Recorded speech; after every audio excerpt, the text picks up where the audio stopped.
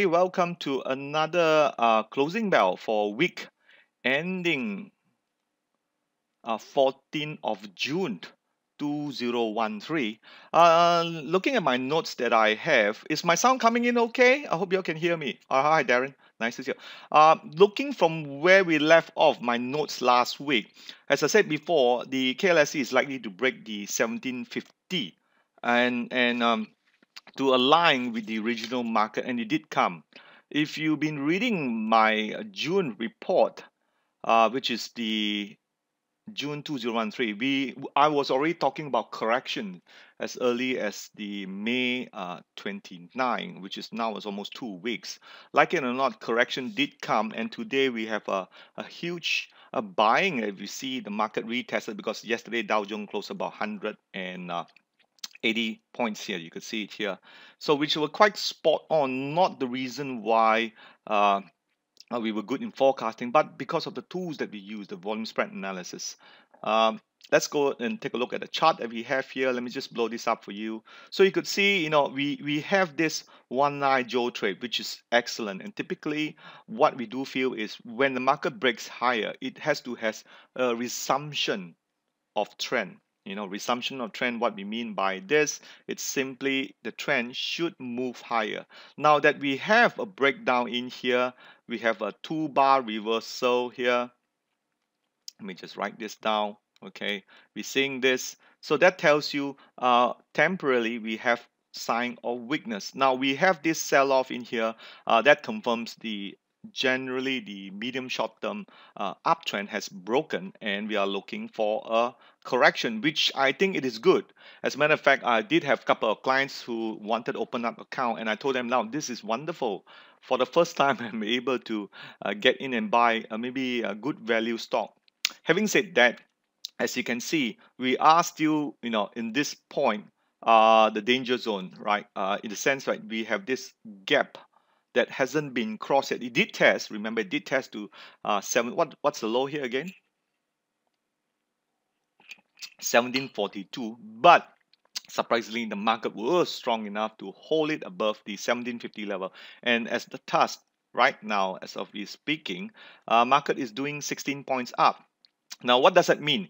It simply means next week it's just going to move sideways. Okay, that's what it means. Uh, okay, that's what it means. What's happening now? All right, good. Uh, Michael, I, I don't understand you. Okay, can you hear me? I hope you can hear me. Okay, if not, you try to catch up over that. So this is what I mean. I know I'm changing a lot of the screen. Just try to bear with me a bit. Okay. So let me just make sure the screens is updated and you can see. All right now. So what you we are seeing, experiencing in here is definitely the market is still uh, trying to crack down the 1750 level in here. Uh, please ignore this high volume bar that you see here. That's to me, doesn't say much. Okay, let me just put that up a bit. And All right, so that's how, how we see things is. Okay. Okay, now let's look at the FBM 70. Okay, I hate this when this thing happen. I just have to reopen it again.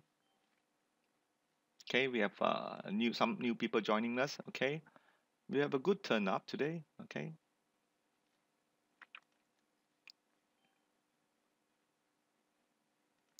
All right, what I want to do now is just to show you this FBM 70. Okay, FBM 70.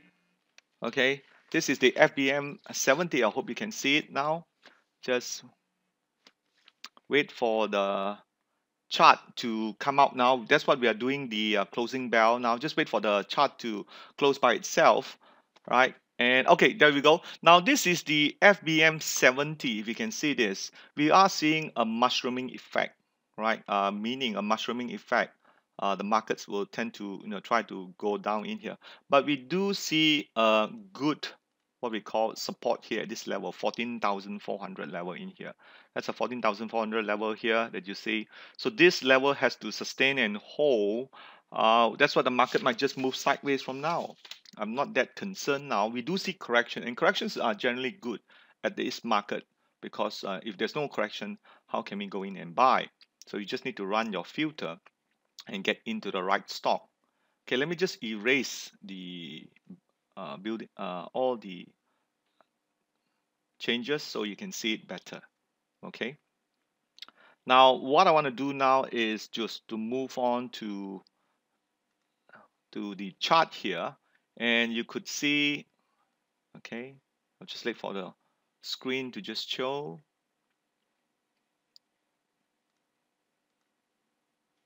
Okay um, we have here now is the FBM KLCI now there's a lagging time between what you can see and what I'm actually showing now you're listening now. Okay. Can you tell me what you're seeing now? Okay. There is definitely a lagging time here. With the dash dashboard. I want to make sure you guys are seeing the same thing that I'm seeing here. Right else I just have to proceed on. Okay. All right. Okay good. I think I got an idea what you guys are looking at. All right. Okay seeing this okay user code great. Right. So what I want to say now here from here onwards you can see last week we were 1776 uh, now it's about 1756 so we were down about 20 points uh, because of the breakdown in here. So now let's go on to the next thing is the foreign funds. Okay, now the foreign funds here, I want just to make sure we are all at the same page. Very important. View, uh, audience view, that's right. You have the same page as I do, which is the uh, foreign funds load. Now you notice what I have here is